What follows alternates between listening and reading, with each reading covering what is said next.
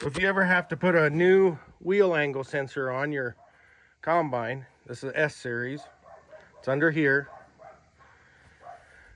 When you change that, most likely you'll need to do a calibration. I'm gonna show you how to do that.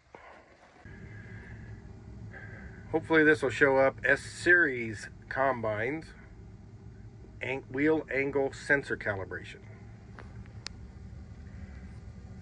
So we're going to go here, messages, addresses,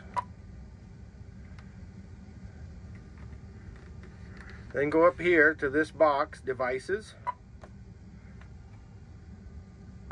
scroll down to SSU.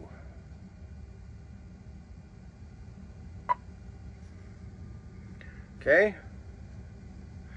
Now you're going to scroll down through this. Oop, too far. To 28. Address 28. Right there it is. Now, machine has to be running. Oil has to be uh, warm. And then you can go into here and just follow what it tells you to do. Here it's going to tell you to steer left. The next one's going to tell you to steer right.